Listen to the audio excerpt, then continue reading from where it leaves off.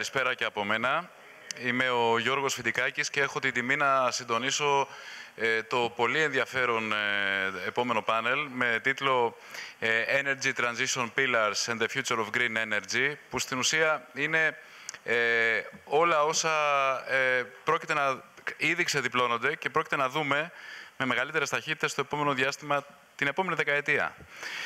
Ε, περνώ κατευθείαν, καλωσορίζω κατευθείαν τους καλεσμένους μας, τον πρώην Υπουργό Ενέργειας και Κλιματικής Αλλαγής και καθηγητή στο Πανεπιστήμιο Βηρεά, τον κύριο Μανιάτη, ε, τον πρόεδρο και διευθύνοντα σύμβουλο του ΑΔΜΙΕ, τον κύριο Γιάννη Μανουσάκη, ε, τον διευθύνοντα σύμβουλο της ΕΔΕΙΠ, κύριο Αριστοφάνη Στεφάτο, ε, τον κύριο Βαρνάβα Θεοδοσίου, ε, Managing Director της ExxonMobil Κύπρου και Ελλάδος, ε, τον, κύριο Θεο, ε, ε, τον κύριο Θοδωρή Τζούρο, επικεφαλής Corporate και Investment Banking, Banking της Τράπεζας Πυραιός, ε, τον κύριο Τάσο Βλασόπουλο, επικεφαλής του κλάδου, ε, διευθύνοντας σύμβουλο, μάλλον, συγγνώμη, της Hellenic Energy Upstream, τον επικεφαλής του κλάδου ενέργειας της Μητυλινέως, τον κύριο Γιάννη Καλαφατά, και τον κύριο Ηλία Μπεκύρο, Γενικό Διευθυντή της Σολυνουργία Κορίνθου. Ε, παρακαλώ πολύ τους, τους ομιλητές να τηρήσουν το, ε, ε, το σφιχτό χρόνο και να μην ξεπεράσουν τα τέσσερα λεπτά μιας αρχικής ε, τοποθέτησης, ώστε να έχουμε κάποιο χρόνο μετά για ένα ε, γύρο σχολείων και ενδεχομένως ερωτήσεων. Κύριε Μανιάτη, ο λόγος εσάς.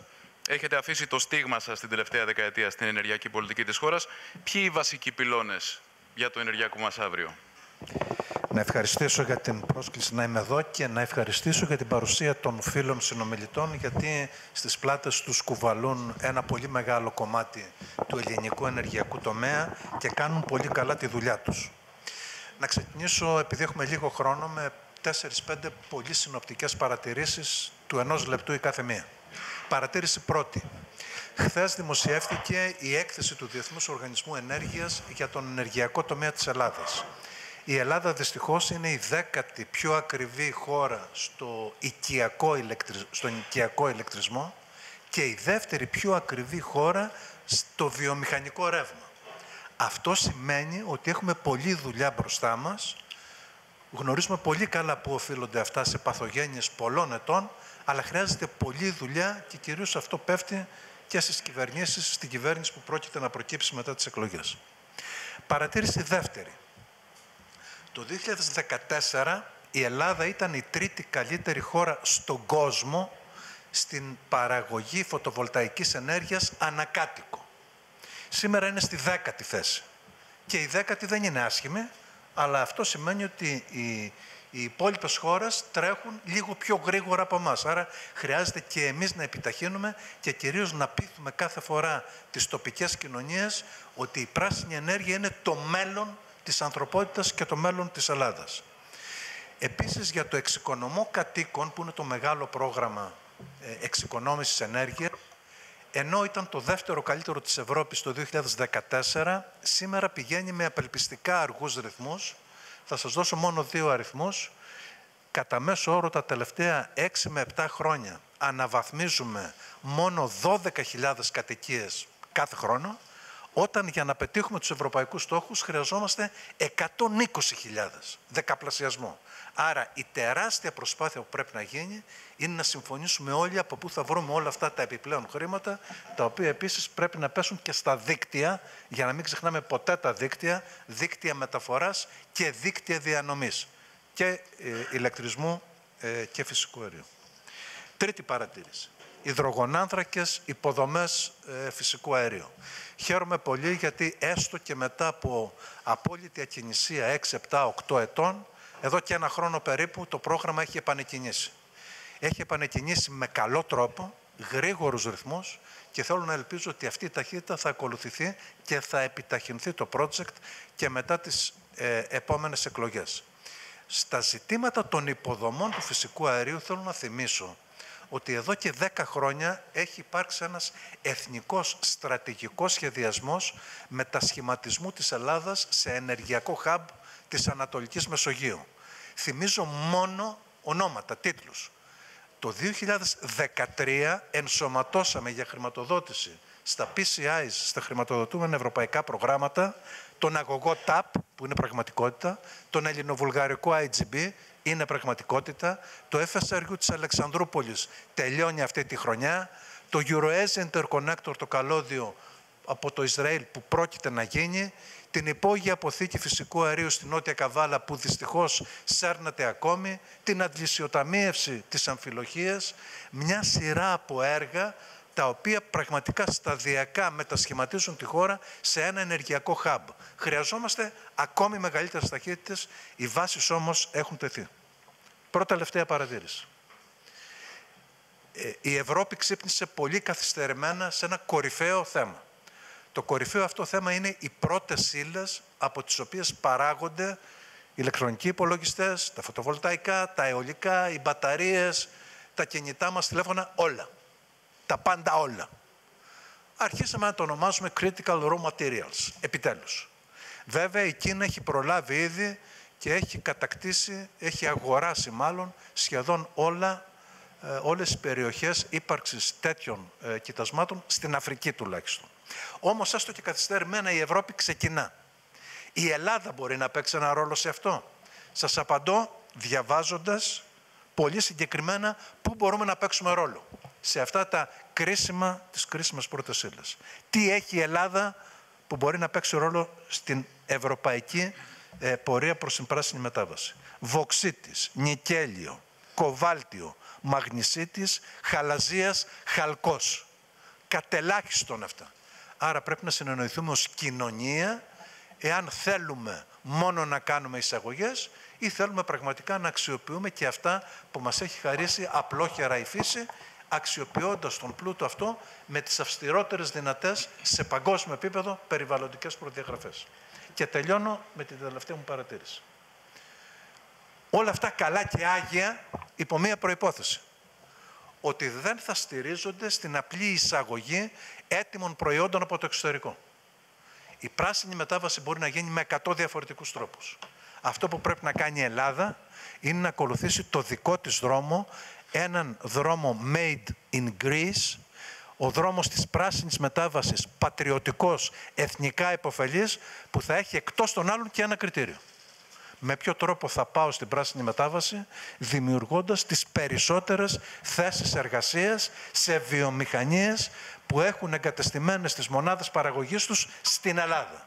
Και δέκα μόνο λέξεις, οι τομείς τους οποίους ήδη έχει καταφέρει ο ιδιωτικός τομέας μόνος του και είναι μπροστάρη, τουλάχιστον πανευρωπαϊκά, είναι σωλήνε και αγωγή φυσικού αερίου και υδρογόνου, καλώδια μεταφοράς πράσινου ηλεκτρισμού, μπαταρίες βιομηχανικής χρήσης, ηλιακοί θερμοσύφωνες από τους καλύτερους του κόσμου, έξυπνοι μετρητές, κουφώματα αλουμινίου, υλικά θερμομόνωσης.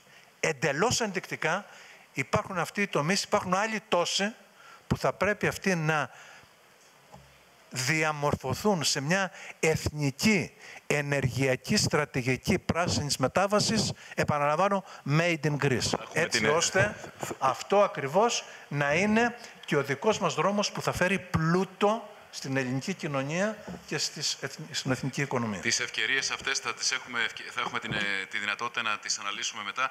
Κύριε, Στεφα, κύριε Στεφάτο, ε, ο κύριος Μαλιάτης μίλησε για τη δυνατότητα μετατροπής της χώρας σε ένα hub. Ε, πόσο εφικτός και ρεαλιστικός είναι αυτός ο στόχος; Ε, σας ρωτάω με την τριπλή σας ιδιότητα ως ΕΔΕΙΕΠ, οι έρευνες υδρογονανθράκων, offshore αιωλικά, carbon ε, capture. Ε, δώστε μας μια πρώτη ε, προσέγγιση. Ναι, σας ευχαριστώ πολύ. Ε, εγώ είμαι πολύ αισιόδοξος και το μήνυμά μου είναι πολύ θετικό υπό αυτή την έννοια. Ε, η Ελλάδα έχει αντικειμενικά ανταγωνιστικά πλεονεκτήματα για να γίνει ένα καθετοποιημένο ενεργειακός κόμβος. Σίγουρα, λόγω της γεωγραφικής μας θέσης και των υποδομών που έχουμε ήδη, είμαστε ένας διαμετακομιστής ενέργειας και μπορούμε να κάνουμε ακόμα περισσότερα και νομίζω γίνονται. Πολλά από αυτά έχουν δρομολογηθεί. Αλλά πέρα από αυτό, η Ελλάδα έχει ένα αδιαμφισβήτητο δυναμικό σε ανανεώσιμες πηγές ενέργειας, το οποίο με το νέο σχεδιασμό που γίνεται για τα υπεράκτια ε, αιωλικά πάρκα είναι κάτι το οποίο υπάρχει κάθε πρόθεση να αξιοποιηθεί και μιλάμε για έργα μεγάλης κλίμακας, οικονομίες κλίμακας, τα οποία θα έχουν και θετικό πρόσημο στην, ε, εφοδια... Ε, στην εθνική οικονομία μέσω της εφοδιαστικής αλυσίδας, τα οποία θα τα συνοδεύσουν. Άρα, ένα ανταγωνιστικό πλεονέκτημα της χώρας πέρα του γεωγραφικού. Και το τρίτο, το οποίο φυσικά αυτό μένει ακόμα να το επιβεβαιώσουμε, η αδυναμία μας στο παρελθόν, στο παρελθόν να προχωρήσουμε με την έρευνα υδρογονανθράκων και ειδικά φυσικού αερίου, γιατί έχουμε αυτό το, την πολυτέλεια να είμαστε σε μια περιοχή όπου ψάχνουμε για φυσικό αέριο, έρχεται τώρα σε μια κρίσιμη στιγμή και καθιστά την Ελλάδα μία από τις ελάχιστες πλέον ευρωπαϊκές χώρες, οι οποίες μπορεί να τροφοδοτήσει την Ευρώπη, εάν όλα πάνε καλά, με σημαντικές ποσότητες φυσικού αερίου καταλαβαίνουμε ότι αυτά, αυτός ο συνδυασμός είναι ένας, θα έλεγα, μοναδικός συνδυασμός. Ε, έχουμε κάθε ευκαιρία να το κάνουμε πράξη.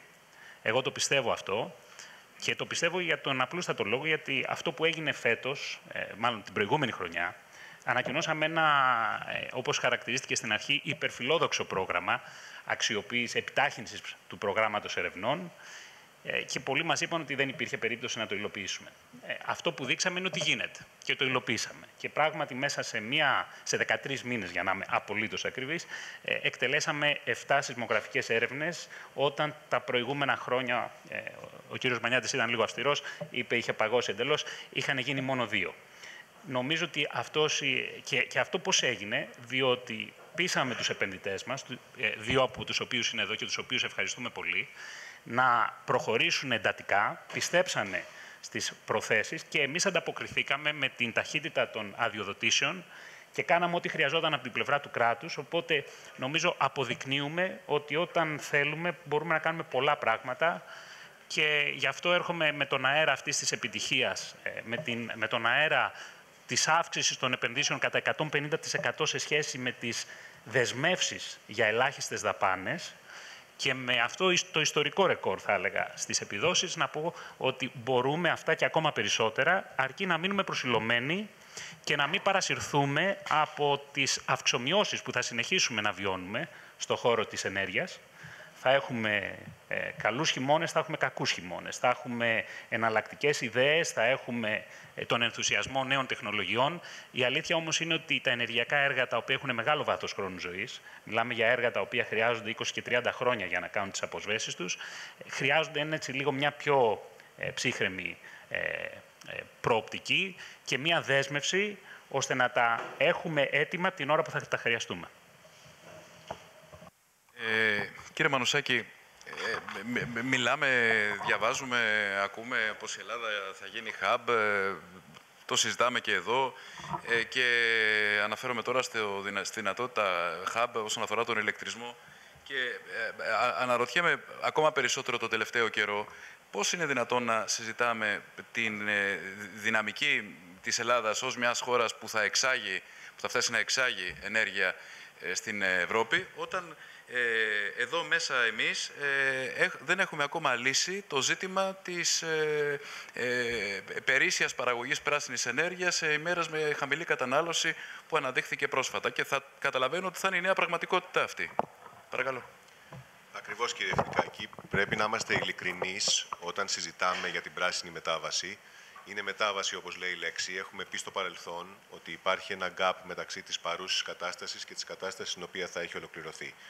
Μέσα σε αυτό το gap θα δημιουργηθούν τεχνολογίες αποθήκευσης ικανές, έτσι ώστε η πράσινη ενέργεια που παράγεται στην Ελλάδα να μπορεί να χρησιμοποιείται και να μην περικόπτεται μέρος της αναγκαστικά, όπως συμβαίνει σήμερα και θα συμβαίνει με εντονότερο ρυθμό τα επόμενα χρόνια, μέχρι να, να οριμάσουν οι τεχνολογίες της αποθήκευσης. Ένας όμως άλλος τρόπος, συμπληρωματικός, επίλυσης του ζητήματος της επιπλέον παραγωγής πράσινης ενέργειας στην Ελλάδα, η οποία εξάλλου έχει εξαιρετικό αιωλικό και ηλιακό δυναμικό, είναι ακριβώς να ενδυναμωθούν οι διάδρομοι ε, της ηλεκτρικής ενέργειας, μεταφοράς ηλεκτρικής ενέργειας και νομίζω ότι βλέπουμε τα τελευταία χρόνια ε, και με την ε, ατυχής συγκυρία του πολέμου να ευνοεί προς αυτή την κατεύθυνση, να ψάχνει η Ευρώπη εναλλακτικές πηγές πράσινης ενέργειας, πλέον προσπαθώντας να απεξαρτηθεί σε κάποιο βαθμό και από τα ρωσικά καύσιμα. Και βλέπουμε ότι οριμάζουν έργα μεταφοράς ηλεκτρικής ενέργειας από την Βόρεια Αφρική προς ε, την Ευρώπη και στην Ελλάδα αντιστοιχεί η προτινόμενη ηλεκτρική διασύνδεση ανάμεσα στην Αίγυπτο και στην Ελλάδα. Όπως είπε και ο Υπουργός πριν, έχει οριμάσει αρκετά πλέον και η διασύνδεση ανάμεσα στην Ελλάδα, την Κύπρο και το Ισραήλ. Και βεβαίως αυτό που είναι κρίσιμο είναι ότι η ενέργεια που θα μεταφέρεται θα πρέπει να μπορεί να φτάνει και στο κέντρο ε, της Ευρώπης. Γι' αυτό και είμαστε σε συνεννόηση με την Ευρωπαϊκή Επιτροπή προκειμένου να δημιουργηθούν και κάθετοι ηλεκτρικοί διάδρομοι από το βορρά ε, προς τον νότο. Ε, η Ελλάδα θα μπορεί έτσι με αυτόν τον τρόπο να γίνει εξαγωγέας της ε, πράσινης ενέργειας ε, που θα παράγεται στη χώρα. Κλείνοντας θέλω να πω ότι πρέπει να αντιμετωπίζουμε σοβαρά την πράσινη μετάβαση, ούτε με υπερβολικούς πανηγυρισμούς, ούτε με φόβο. Είναι μία περίοδος στην οποία τα πράγματα αλλάζουν γρήγορα και πρέπει όλοι να είμαστε σε εγρήγορση, προκειμένου οι όποιες αναταράξεις υπάρχουν να ελαχιστοποιηθούν. Αυτό δεν συμβαίνει μόνο στην Ελλάδα, συμβαίνει σε όλες τις χώρες. Όποιος διαβάζει το διεθνή τύπο μπορεί να ενημερωθεί σχετικά. Ωραία. Ε, κύριε Θεοδοσίου, μόλις τώρα είπε ο κύριος Μανουσάκης, ε, έβαλε μάλλον στο παιχνίδι το, ε, το φυσικό αέριο. Μεταφράζω τα λόγια του, δεν το είπε έτσι ακριβώς, αλλά έβαλε το φυσικό αέριο ως το, μεταβατικό, ως το απαραίτητο μεταβατικό καύσιμο ε, μέχρι την, ε, την πλήρη απανθρακοποίηση κτλ. του 2050. Και η ExxonMobil είναι μια εταιρεία που δίνει, εξ όσων έχω καταλάβει, βάρος στην ο ρόλος μάλλον της βιομηχανίας υδρογονανθράκων στην ενεργειακή μετάβαση ε, βρίσκεται στις προτεραιότητες της ExxonMobil. Μπορείτε να μας ε, δώσετε τη δική σας οπτική, να μας το εξηγήσετε λίγο αυτό. Ναι, φυσικά και ευχαριστώ για την ερώτηση. Καλό απόγευμα. Να ξεκινήσω με την ουσία της παρέμβασης μου, ότι ο τομέας των υδρογοναθράκων έχει βασικό ρόλο να διαδραματίσει στην ενεργειακή μετάβαση και στην ενεργειακή, ενεργειακή ασφάλεια. Ε, λόγω της τεχνολογίας και της τεχνογνωσίας που διαθέτουμε. Και να μου επιτρέπετε να ξεκινήσω με τις προβλέψεις μας σαν ExxonMobil όσον αφορά τη μελλοντική προσφορά και ζήτηση ενεργειακών προϊόντων στο 2050, η οποία ξεκινούμε για, να, για αυτές τις προβλέψεις, ξεκινούμε με τις προβλέψεις για την αύξηση του πληθυσμού, η οποία βλέπουμε να αυξάνεται κατά 25%, κατά 2 δισεκατομμύρια περίπου, το οποίο ε, μεταφράζεται σε αύξηση ενέργειας περίπου 15%, καθώς οι, οι ανεπτυσσόμενες χώρες προσθέτουν περισσότερο στην εξίσωση λόγω αύξησης του βιωτικού επίπεδου παρά από ό,τι παίρνουν, από ό,τι μειώνουν οι ανεπτυγμένες χώρες λόγω της αυξημένης αποδοτικότητας. Όσον αφορά τις πηγές ενέργειας, προβλέπουμε ότι οι ανανεώσιμες φυσικά θα αντιπροσωπεύουν περίπου το 55% των πρόσθετων ε, προμηθειών που χρειάζονται για τη ζήτηση. Αλλά το φυσικό αέριο σε όλα τα σενάρια των δύο βαθμών, όσον αφορά ε, και το, το net zero σενάριο της International Energy Agency, παίζει βασικό ρόλο στο μελλοντικό ενεργειακό μείγμα και προβλέπουμε να αντιπροσωπεύει 30% του μείγματος το 2050. 30%. Λοιπόν, οπότε η πρόκληση είναι διπλή. Αφενός να παρέχουμε τα ενεργειακά προϊόντα που χρειάζεται η ανθρωπότητα για να κρατήσει το τρόπο ζωής και αφετέρου να προχωρήσουμε και να προχωρήσουμε με πιο γρήγορους, πιο γρήγορους ρυθμούς μάλιστα στην κλιματική ουδετερότητα. Και εκείνο που είδαμε πρόσφατα ε, στην ενεργειακή κρίση, την οποία ακόμα ζούμε, είναι πόσο ε, γρήγορα ξεχνούμε τους κλιματικούς στόχους όταν έχουμε ε, να δώσουμε προτεραιότητα στις σύγχρονες ανάγκες του ανθρώπου ε, για ενέργεια. Και βρισκόμαστε σήμερα στην κατάσταση στην Ευρώπη να καίμε περισσότερο άνθρακα από ό,τι στο παρελθόν.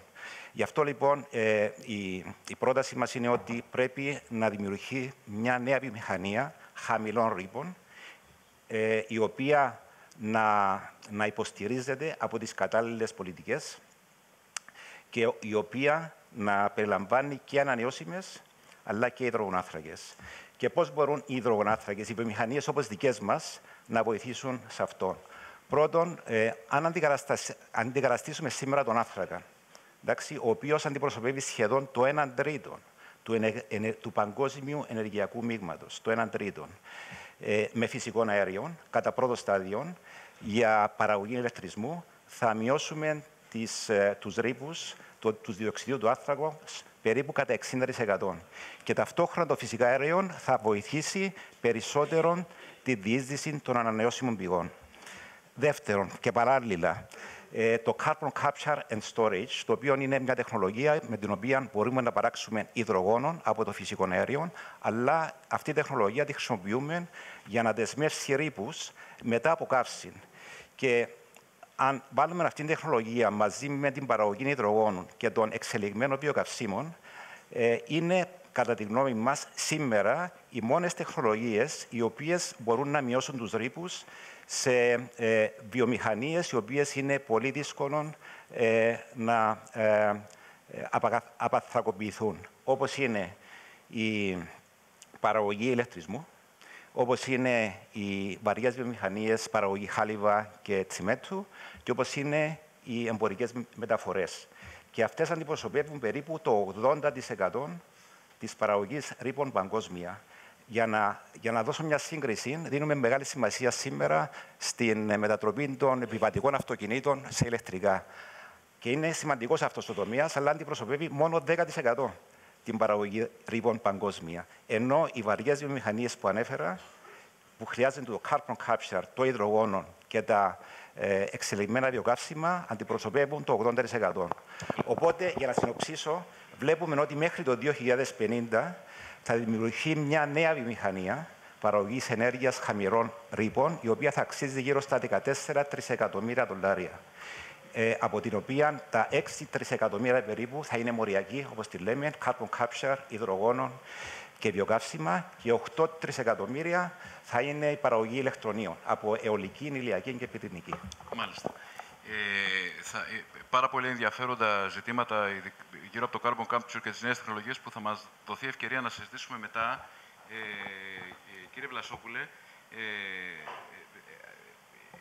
ακούσαμε σήμερα το πρωί, το, ακούσαμε νωρίτερα τον κύριο Σιάμιση να, να τοποθετεί την πρώτη γεώτρηση στον, στον ελληνικό χώρο γύρω στο, μέσα στο 2025. Ε, τα, πετρέλαια, τα ελληνικά πετρέλαια, η Hellenic Energy, πού βρίσκεται σε αυτό; Λοιπόν, καταρχάς, ευχαριστώ πολύ για την πρόσκληση. Θα ήθελα να πω στα πλαίσια της ε, ενεργειακής μεταξέλιξης του ομίλου έχουμε θέσει φιλόδοξους στόχους όπως στην απαναθρακοποίηση και στο κομμάτι των ΑΠΕ. Όμως για να έχουμε μια ομαλή μετάβαση, όπως έχει υποθεί πάρα πολλές φορές, χρειαζόμαστε ενεργειακή, ασφάλιση, ενεργειακή ασφάλεια. Η ανάγκη λοιπόν εξερεύνησης του εγχώριου ενεργειακού πλούτου απαιτεί, γίνεται ανάγκη. Η έμφαση γίνεται, δίνεται αυτή τη στιγμή στο, στο κομμάτι του φυσικού αερίου. Χαίρομαι που ο κύριος, ε, ο Βαρνάβας, ο φίλος, έχει, έκανε μια τόσο καλή ανάλυση, οπότε δεν χρειάζεται να αναφερθώ εγώ σε αυτό το κομμάτι. Εκείνο το οποίο θέλω να πω εγώ είναι ότι η Hellenic Energy έχει ε, έξι licenses, έξι άδειες αυτή τη στιγμή στον ελλαδικό χώρο. Αυτό σημαίνει ότι έχουμε αρκετά πράγματα να κάνουμε. Όμως, αρχίσαμε τα τελε... Ε, κάναμε ήδη τέσσερα, τέσσερις καμπάνιες γεωφυσικών εργασιών τους τελευταίους 13 μήνες. Αρχίσαμε τον Ιανουάριο του 2022, δηλαδή 1,5 μήνα πριν από την εισβολή της Ρωσίας στην Ουκρανία, να συλλέγουμε γεωφυσικά δεδομένα δυτικά της Πελοποννήσου.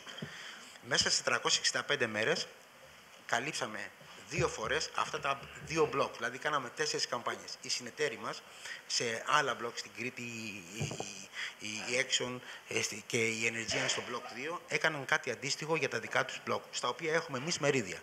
Άρα, αυτή τη στιγμή έχουμε συλλέξει δεδομένα από πέντε διαφορετικές περιοχές. Απαιτείται λοιπόν ένας χρόνος για να μπορούν να επεξεργαστούν οι τεχνικοί και να ερμηνεύσουν όλα αυτά τα δεδομένα. Αυτός ο χρόνος δεν γίνεται αύριο μεθαύριο. Ε, θα γίνει μέσα σε, στο 2024 θα έχουμε κάποια στοιχεία ούτως ώστε να μπορούμε να, να δούμε εάν και πού υπάρχουν γεωτρητικοί στόχοι. Εφόσον λοιπόν αυτό γίνει κάποια στιγμή μέσα στο 2024, τότε η επόμενη φάση θα είναι η προετοιμασία μιας γεώτρησης κάπου. Για να γίνει αυτό, απαιτούνται πολλά άλλα πράγματα. Πρέπει να υπάρχει γεωτρύπανο. Αυτά είναι βέβαια κάτι το οποίο είναι επιχειρησιακά θέματα. Πρέπει να ε, ε, πάρουμε τις κατάλληλες άδειες την ώρα που τις χρειαζόμαστε και δεν έχουμε καμία αμφιβολία ότι αυτό το πράγμα ε, θα εξελιχθεί ομαλά. Ε, Καθώς επίσης ε, το πολύ σημαντικό είναι να υπάρχουν οι, οι απαραίτητες υποδομές για να μπορέσει να γίνει η βιώτρηση. Τώρα, εγώ δεν θα, θα μπω σε, στο χρονικό ορίζοντα πότε ακριβώς θα γίνουν όλα αυτά, γιατί υπάρχουν σχετικοί περιορισμοί. Πάντως, από ό,τι φαίνεται, το πρόγραμμα έχει επιταχυνθεί. Οι όλοι κάνουν αυτό το οποίο μπορούν και πρέπει να κάνουν και νομίζω ότι είμαστε στη θέση να πούμε ότι ε, θα φτάσουμε στην, την κατάλληλη στιγμή εκεί που θέλουμε. Ε, θα ήθελα, να, εφόσον υπάρχει χρόνος λίγο αργότερα, να αναφερθώ σε κομμάτι της απανθρακοποίησης και, και τι κάνουμε και τι φιλοδοξούμε να κάνουμε στο carbon capture και τι χρειάζεται βασικά. Αλλά νομίζω ότι θα ήθελα να δώσω το χρόνο στους υπόλοιπους ομιλητές να κάνουν την πρώτη τους παρέμβαση. Ευχαριστώ, ευχαριστώ, σας ευχαριστώ πολύ. Ε, κύριε Καλαφατά, εταιρείες όπως η Μητυλινέο ε, ασχολούνται με όλα αυτά όσα έχουμε ακούσει. Και με φυσικό αέριο και με ορυκτά καύσιμα και με ανανεώσιμες. Και βλέπουμε και από τους ομιλητές ότι η αγορά τρέχει με πολύ, μεγάλε, με πολύ μεγάλες ταχύτητες τα project. Αναρωτιέμαι ε, και πώς το εισπράτετε εσείς, ε, πόσο εύκολο είναι να αλλάξει το ενεργειακό μοντέλο της, Ευρωπαϊκής, της, ε, της Ευρώπης όταν επί 30 χρόνια ήταν στραμμένο προς μια κατεύθυνση. Τώρα προσπαθεί μέσα σε 10 χρόνια να το στρέψει προς την εντελώς αντίθετη κατεύθυνση. Το βλέπετε εφικτό. Κύριε Φιτικάκη, το θέσατε ε, νομίζω πολύ σωστά, αλλά επιτρέψτε μου να συμπληρώσω αυτό που είπατε και με το εξής. Ε, στην Ευρώπη το λεγόμενο target model είναι πια πραγματικότητα. Η ευρωπαϊκή αγορά είναι πια συζευμένη. Είναι μια ενιαία αγορά. Τι σημαίνει αυτό σε σχέση με το τι συνέβαινε στο παρελθόν; Σημαίνει ότι πρέπει να σκεφτόμαστε και με όρους συνολικής ευρωπαϊκής αγοράς. Το τι κάνει κάθε χώρα πια έχει μια σχετική σημασία. Το τι γίνεται εδώ δηλαδή και το τι γίνεται στην Ιταλία έχει μια σχετική σημασία γιατί στο τέλος της ημέρας, και το έχουμε δει αυτό νομίζω το τελευταίο καιρό, ε, πολύ έντονα, όλα αυτά εξομαλύνονται και αυτοδιορθώνονται. Ε, άρα, ένα άλλο ερώτημα που τίθεται είναι ε, κατά πόσο η Ευρώπη ε, το λαμβάνει υπόψη της αυτό και όταν ε, τα κράτη-μέλη κάνουν τους ενεργειακούς σχεδιασμούς, αυτό το πράγμα γίνεται σωστά calibrated από την Ευρώπη, έτσι ώστε να μην φτάσουμε σε ένα σημείο απόλυτης ανισορροπίας στον τρόπο με τον οποίο γίνονται πράγματα. Σήμερα ακούμε πολλά ενδιαφέροντα πράγματα και αν μοιραστώ και εγώ τη δική μας άποψη και γνώση για την αγορά, θα σας πω ότι υπάρχουν τόσα πολλά projects για πράσινη ενέργεια ανά τον πλανήτη, που αναρωτιέται κανείς αν όλα αυτά μαγικά δεν θα υλοποιηθούν, αλλά αν όλα αυτά μαγικά υλοποιηθούν, τι θα γίνει όλη αυτή η ενέργεια. Ε, στο ερώτημά σας όμως, είναι γεγονός ότι ε, οι αγορές που λειτουργούν αυτή τη στιγμή, έστω και με τον τρόπο που περιέγραψα προηγουμένως, είναι αγορές οι οποίες βασίστηκαν κατά κύριο λόγο στο εξής μοντέλο. Από τη μία πλευρά ορυκτά καύσιμα κατά κύριο λόγο και από την άλλη πλευρά μία ζήτηση, η στοχαστικότητα της οποίας σήμερα που μιλάμε είναι σε χαμηλό επίπεδο. Τη γνωρίζουμε τη ζήτηση σε αρκετά καλό βαθμό, άρα το match των δύο σήμερα στα ηλεκτρικά συστήματα είναι μια ε, αποτελεσματική διαδικασία. Πού πηγαίνουμε όμως στο μέλλον, πηγαίνουμε στο εξής. Από τη μία πλευρά ε, έχουμε την πράσινη μετάβαση. Άρα πάμε σε ένα ηλεκτρικό σύστημα το οποίο αφήνει πίσω του σιγά σιγά ή γρήγορα γρήγορα τα ορυκτά καύσιμα και μιλάμε για ένα σύστημα το οποίο θα βασίζεται κατά κύριο λόγο σε ανανεώσιμες πηγές ενέργειας. Ανανεώσιμες πηγές ενέργειας, όπως γνωρίζουν αρκετοί ε, και σίγουρα οι παρευρισκόμενοι, μιλάμε για ένα άλλο προφίλ παραγωγής από αυτό που είχαμε συνηθίσει στα ορυκτά καύσιμα.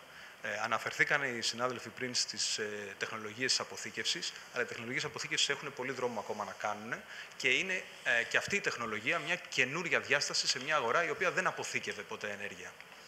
Ε, ή, εν πάση περιπτώσει, αποθήκευε μικρές ποσότητες για να μην είμαι ακυρωτικός.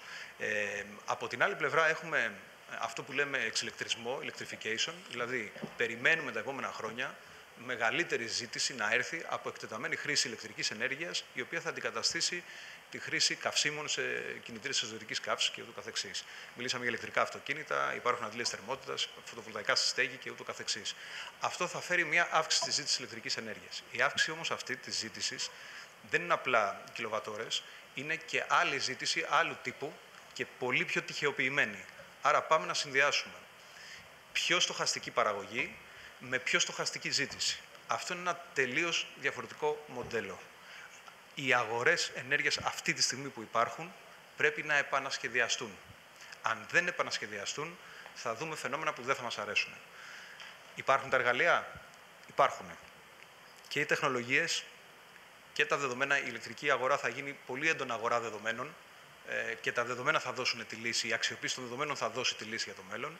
Υπάρχουν τεχνολογίες, υπάρχουν λύσεις, υπάρχουν τρόποι. Πρέπει απλά όλοι οι ε, συμμετέχοντες στην αγορά, κυβερνήσεις, εθνιστικές αρχές, επενδυτές, χρηματοπιστωτικά ιδρύματα και ούτω καθεξής, να συνδυαστούν, να συνεργαστούν με τον καλύτερο δυνατό τρόπο, να συνταχθούν πίσω από, το, από αυτό το ερώτημα που πολύ εύλογα κάνατε, δεν είμαστε έτοιμοι και πρέπει να γίνουμε έτοιμοι, ε, να αναλάβει ο καθένας το ρόλο του, να ξεκαθαρίσουμε το πλαίσιο, να φτιάξουμε το πλαίσιο να είναι ξεκάθαρο για την επόμενη μέρα, γιατί έτσι μόνο θα δοθούν τα σωστά κίνητρα και σήματα στην αγορά για να επενδύσει σωστά και να πάει στην επόμενη μέρα.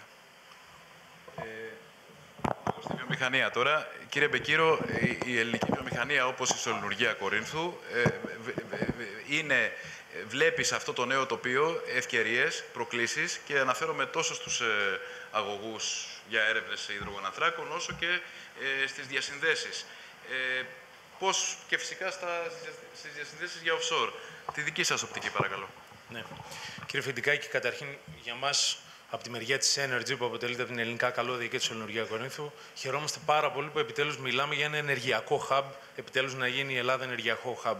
Και αυτό, όπως είπαν και οι προηγούμενοι ομιλητές, περιλαμβάνει όλες τις μορφές ενέργειας. Και πρέπει να το αποφασίσουμε αυτό, δεν υπάρχουν μαγικές λύσεις και να σταματήσουμε να έχουμε έτσι οράματα ότι μπορούμε από τη μία μέρα στην άλλη να πάμε στη, στον επόμενο, στην επόμενη λύση. Ενεργειακό hub σημαίνει ενεργειακή ανεξαρτησία και περιλαμβάνει και φυσικό αέριο και υδρογόνο και ρεύμα από ΑΠΕ, φωτοβολταϊκά, αιωλικά και υπεράκτια αιωλικά και carbon capture.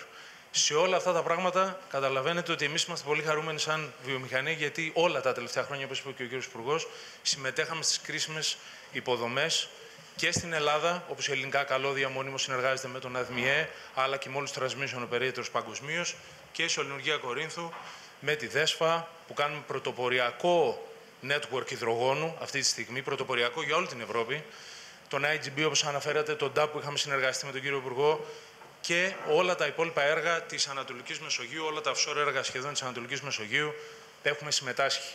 Και παγκοσμίως έχουμε συμμετοχή σε όλα αυτά τα έργα. Νομίζω ότι είναι μια πολύ καλή συγκυρία ότι η Ελλάδα έχει βιομηχανίες οι οποίες έχουν εμπειρία διεθνή και συνεργάζονται με όλους τους μεγάλους παίχτε παγκοσμίως για να ξέρουν πώς να υποστηρίξουν αυτό το όραμα. Αλλά την ίδια στιγμή που το λέμε αυτό, μοιραζόμαστε, επειδή η βιομηχανία είναι ρεαλιστική και πρακτική συνήθως, μοιραζόμαστε και την προπόθεση, όπως είπατε, ότι πρέπει το supply chain να υποστηριχθεί και να είναι στους proactive σχεδιασμούς των authorities και των κυβερνήσεων και όχι να είναι ο τελευταίος τροχός της αμάξης. Πολλές προκηρύξεις μπορούν να γίνουν, πολλά γιγαβάτ μπορεί να πέφτουν από τον ουρανό, πολλοί αγωγοί μπορούν να σχεδιαστούν, αλλά όταν δεν υπάρχουν υποδομές, όταν δεν υπάρχουν όμως όχι μόνο τα critical raw materials, αλλά και το critical manufacturing, δεν θα μπορέσουμε να κάνουμε τίποτα και είμαστε εδώ για να βοηθήσουμε σε αυτό, ακόμα και στο offshore wind. Με τον κύριο Στεφάντο έχουμε συζητήσει πάρα πολλές φορές για αυτό το μέλλον. Διαφορετικά, σε πέντε χρόνια θα είμαστε εδώ να κάνουμε ένα πάνελ το γιατί δεν πετύχαμε τους στόχους του 2023 που βάλαμε. Κύριε Τζούρο, όλα αυτά που έχετε ακούσει, που έχουμε ακούσει στο, στο τραπέζι αυτό, πόσο, πόσο χρηματοδοτήσιμε, πόσο χρηματοδοτήσιμες είναι από τις τράπεζες όλες αυτές οι επενδύσεις; Καλησπέρα σας και ευχαριστώ πολύ για την πρόσκληση να συμμετέχω στο πάνελ σας σήμερα. Καταρχάς νομίζω είναι σημαντικό να πούμε ότι ο τραπεζικός κλάδος έχει παίξει πολύ μεγάλο ρόλο στην ενεργειακή μετάβαση που έχει γίνει στη χώρα μας μέχρι σήμερα η εγκατεσχημένη ισχύ ΣΑΠΕ έχει αυξηθεί από τα 4,3 γιγαβάτ το 2013, σήμερα είμαστε στα 9,4. Μετά από πια να είναι περίπου 45% της ε, ενέργειας στο σύστημα. Ε, όλες αυτές οι επενδύσεις που έγιναν τη τελευταία δεκαετία, βασικά σε φωτοβολταϊκά και ολικά πάρκα, έχουν χρηματοδοτηθεί κατά κύρια βάση από τα ίδια κεφάλαια των εταιριών και από τραπεζικό δανεισμό που έχουν δώσει οι ελληνικές τράπεζες μόνο. σω με εξαίρεση την EBRD και την EIB, εγώ τόσα χρόνια δεν έχω δει ξένες τράπεζες να συμμετέχουν σε αυτές τις επενδύσεις. Οι εκτιμήσεις που έχουμε είναι ότι οι ελληνικές τράπεζες τελευταία 7 ετία έχουν δώσει περίπου 8 με 10 δις σε έργα ΑΠΕ. Σε μία περίοδο που δεν ήταν και η καλύτερη περίοδος, συγγνώμη, σε μια περίοδος που δεν ήταν και η πιο αποδοτική για τις ελληνικές τράπεζες. Θυμίζω είχαμε capital controls, θυμίζω ότι είχαμε συγκεκριμένα θέματα με τα κόκκινα μας δάνεια. Παρ' όλα αυτά χρηματοδοτήσαμε 10 δις στην ελληνική οικονομία με μέσω των ΑΠΕ. Επίσης να πω, επειδή ακούστηκαν και για τα ορυκτά καύσιμα, ότι οι ελληνικές τράπεζες έχουν χρηματοδοτήσει τον Ήρωνα, έχουν χρηματοδοτήσει την Ελπέντισον, έχουν χρηματοδοτήσει την K-Power, έχουν χρηματοδοτήσει εργοστάσια φυσικού αερίου στην ελληνική αγορά. Δεν μείναμε μόνο στο φυσικό αέριο. Δεν μείναμε μόνο σε ΑΠ, έχετε δίκιο. Τώρα, σύμφωνα με τις προβλέψεις του Εθνικού Σχεδίου για το Κλίμα και την Ενέργεια, βλέπουμε ότι μέχρι το 2030 απαιτούνται περίπου 15 δις νέες επενδύσεις σε ΑΠΕ και άλλα 7 δις περίπου σε δίκτυα. Άρα μιλάμε για επενδύσεις 22 δις. Αυτό θεωρούμε ότι είναι ένα ποσό που μπορεί να στηριχθεί από τις ελληνικές τράπεζες. Μιλάμε για περίπου 2 δις χρηματοδότηση κατ' έτος. Σας τονίζω μόνο ότι το 2022 οι νέες εκταμιεύσεις που κάναν ελληνικές τράπεζες ήταν 22 δις στην ελληνική οικονομία. Θέλω όμως να τονίσω ότι έχουμε δει κάποιες αλλαγές στην αγορά ΑΠΕ, οι οποίες θεωρούμε θα έχουν επιπτώσεις στις χρηματοδοτήσεις. Καταρχήν βλέπουμε μια μεταβολή σε corporate PPAs. Από εκεί που είχαμε τα feeding tariffs, feeding premiums με, corporate, με PPAs με το ΔΑΠΕΠ, τώρα βλέπουμε ότι όλο και οι περισσότεροι επενδυτές επιλέγουν να πάνε στα corporate PPAs, διμερείς συμβάσεις, επειδή υπάρχουν καλύτερες τιμές. Αυτό αλλάζει το credit profile του lending. Πρέπει πια να, κάνουμε, να προσδιορίσουμε το credit risk του αντισυμβαλόμενου, δεν είναι ο ΔΑΠΕΠ, ενώ οι συμβάσεις, τα πιο πολλά corporate PPAs που βλέπουμε στην αγορά είναι δεκαετίας, άρα μετά πρέπει οι τράπεζες να προσδιορίσουν ποιο είναι το ρίσκο από το να πουλάει ο παραγωγός την ενέργεια στο σύστημα. Δεύτερη αλλαγή που βλέπουμε είναι ότι λόγω της σημαντικής συμφόρησης που υπάρχει στα δίκτυα, όλο και περισσότεροι παραγωγοί επιλέγουν πια να κάνουν τους δικούς υποσταθμούς. Αυτό ανεβάζει το κόστος επένδυσης και δεν είναι σίγουρο ότι είναι και χρηματοδοτήσιμο. Επίσης, βλέπουμε ότι το, το εθνικό σχέδιο περιλαμβάνει αρκετές επενδύσεις σε offshore wind parks και μπαταρίες.